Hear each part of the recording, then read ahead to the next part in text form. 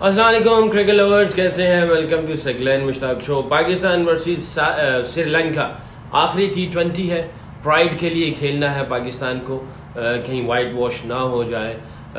اس کے لیے best combination کیا ہوگا؟ بیسٹ الیون کیا ہوگی؟ مصباح کے اوپر یہ بڑا اس وقت پریشر ہوگا.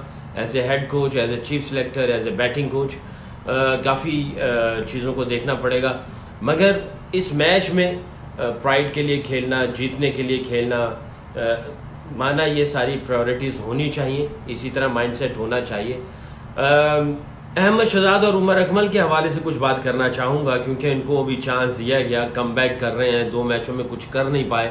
بہت ساری باتیں میڈیا میں سوشل میڈیا میں چل رہی ہیں، ان کی سلیکشن کے اوپر، اور بہت زیادہ پریشر آ رہا ہے مصباح کے اوپر، اور سرفراز کے اوپر بھی بہت زیادہ پریشر آ رہا ہے۔ بہت ساری باتیں ہو رہی ہیں کہ جی بی ٹیم آئی تھی سری لنکا کی اور وائٹ واش نہ کر دے کہیں۔ سیریز تو جیت گئی ٹی ٹوینٹی کی۔ ایک کرائٹیریا ہونا چاہیے۔ کسی بھی بیٹسمین کا یا بالر کا، کھلاڑی کا، جب وہ کم بیک کرے، کم از کم جو بیٹسمین ہے، کم از کم کم از کم اگر شارٹر ورژن ہے ٹی ٹوینٹی یا ون ڈے کرکٹ تو ایک کرائٹیریا سیٹ کرنا چاہیے پانچ چھ میچز کا۔ کہ پانچ چھ میچز دیے جائیں، اس کے بعد جا کے کچھ سوچا جائے۔ کہ ان کو رکھنا ہے یا نہیں رکھنا ہے، ایک یا دو میچوں میں اگر آپ اندر باہر کرتے ہیں، تو میں یہ سمجھتا ہوں کہ یہ جسٹیفائی نہیں ہوگا، یہ انصاف نہیں ہوگا۔ کم از کم پانچ چھ میچز دینے چاہیے، ایک کرائٹیریا ہو۔ پتہ چلتا ہے اس وقت کیپٹن کا بھی ہیڈ کوچ کا بھی چیف سلیکٹر کا بھی پلیئروں کا بھی پتہ چلتا ہے کہ بھائی آپ لے کے آئے ہو کھلاڑی کو، چاہے وہ بالر ہے یا بیٹسمین ہے آپ اس کو لے کے آئے ہو اندر اور آپ کتنے اعتماد کے ساتھ اندر لے کے آئے ہو تو کتنا ان کو آپ موقع دیں گے جس میں وہ اچھا پرفارمنس کریں اور ان کا کم بیک جو ہے وہ صحیح طریقے سے ہو۔ تقریباً چھ میچ ہونے چاہیے کرائٹیریا ون ڈے اور ٹی ٹوینٹی کا۔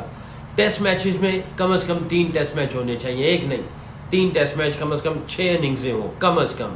اس کے بعد جا کے پتہ چلتا ہے، اگر کوئی بالر کم بیک کر رہا ہے تو میری اپنی سوچ ہے، ہو سکتا ہے میں غلط ہوں۔ مگر میں یہ سمجھتا ہوں، میرا اس کے اوپر بڑا یقین ہے۔ اگر بالر کم بیک کر رہا ہے، تو کم از کم اس کو تین میچ دیے جائیں ون ڈے یا ٹی ٹی ٹوینٹی دیے جائیں۔ اس کے بعد جا کے اس کو بٹھانا یا ریسٹ کرنا یا ڈراپ کرنا، وہ علیحدہ تین میچ دینے چاہیے۔ ٹیسٹ میچ ہے تو کم از کم وہ بھی دو تین ٹیسٹ میچ دینے چاہیے بالر کو بھی۔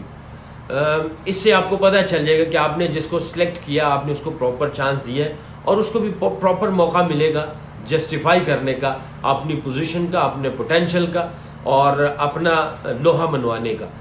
اس سے پہلے جو ہے ہم لوگ پہلے ہی باتیں کرنی شروع کر دیتے ہیں۔ ہمارا جو میڈیا ہے، وہ بہت ہی پہلے، ایک ہی میچ کے بعد باتیں کرنی شروع کر دیتا ہے۔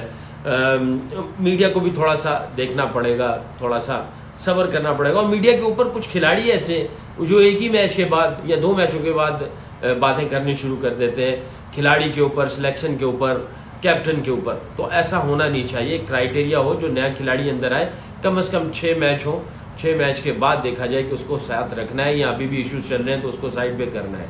اور جو نیا کھلاڑی آتا ہے تو اس کو کم از کم اس سے زیادہ چانس دینے چاہیے۔ یہ میری اپنی سوچ ہے، یہ ایک رائے ہے اوپینین ہے۔ شاید مصباح کو یا پی سی بی کو یہ بات جو ہے وہ اگر اچھی لگتی ہے تو اس کے اوپر لایا عمل رکھیں، اس کے اوپر عمل کریں۔ ورنہ آج کل کے تو زمانے میں یا دور میں ایسا ہو رہا ہے کہ ایک ہی میچ کے بعد جو ہے وہ اتنی باتیں ہوتی ہیں تو سلیکشن کمیٹی جو ہے وہ بھی کنفیوز ہو جاتی ہے۔ کیپٹن کا کانفیڈنس بھی اس پلیئر کے اوپر کنفیوز ہو جاتا ہے اور جو کھیلنے والا وہ تو پہلے ہی کھڑک جاتا ہے ایک ہی میچ کے بعد۔ تو یہ یہ یہ زیادتی ہے۔ تو کم از کم چھ میچز دینے چاہیے۔ آج کے میچ میں دیکھتے ہیں کہ مصباح ان کو چانس دیتے کہ نہیں دیتے۔ کیپٹن عمر اکمل کو اور احمد شہزاد کو سرفراز چانس دیتا ہے کہ نہیں دیتا۔ کیا ٹیم کھلا، کھلانی ہے؟ اور کیا اسٹریٹجی ہوگی؟ اور پرائڈ کو سامنے رکھا جائے گا کہ نہیں؟ میچ کو جیتنے کے لیے ٹیم بنائی جائے گی۔ کس طرح کی ٹیم بنے گی؟ بہت سارے ایشوز ہیں۔ دیکھتے ہیں یہ کیسے اس کو حل کرتے ہیں۔ جب میچ ہوگا ٹیم اناؤنس ہوگی، جب ٹیم کھیلے گی، تو پھر دیکھیں گے کہ ان کی کیا سوچ تھی اور کس طریقے سے گیارہ کھلاڑی جو ہیں وہ پک کیے اور کس اسٹریٹجی پہ کس مائنڈ سیٹ سے ٹیم جو ہے وہ گراؤنڈ میں گئی اور لڑنے کے لیے اور جیتنے کے لیے گئی۔ میرا یوٹیوب چینل دیکھتے رہیے گا۔ فیس بک پیج کو لائک کریں، میرے یوٹیوب چینل کو سبسکرائب کریں۔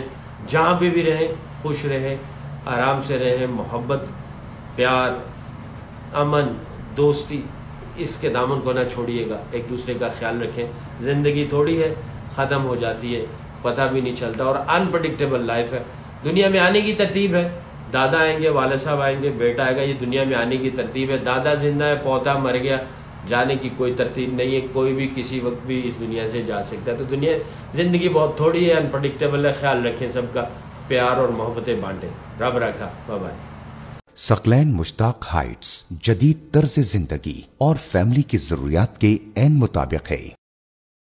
پریئر ایریا اور قرآن اکیڈمی، وسیع اور کشادہ کوریڈورز، لابی اور ایکسس ایریاز، رہائشوں کے لیے محفوظ اور مہمانوں کے لیے وسیع کار پارکنگ، سرویلنس اور main technology security system, fire security system, backup power کے ساتھ پیسنجر اور کارگو لفٹس، فرش اور کچن میں سنگ مربر اور گرینائٹ کا استعمال۔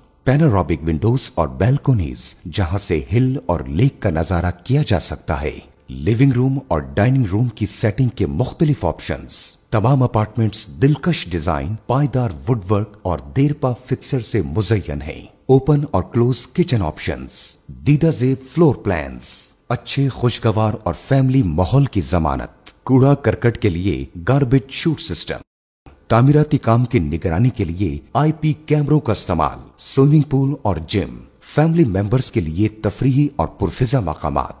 ہم بہترین سے کم کی ضمانت نہیں دیتے۔ اسی لیے ہم انڈسٹری کے بہترین کانٹریکٹرز آرکیٹیکٹس اور پروجیکٹ مینیجر سے کام کروا رہے ہیں تاکہ تمام رہائشیوں کی حفاظت اور سہولت کو یقینی بنایا جائے۔ اسی طرح سکلین مشتاق ہائٹس میں انتہائی اعلیٰ درجے، پائیدار اور قابل اعتماد کمپنیز کا میٹیریل استعمال کیا جا رہا ہے۔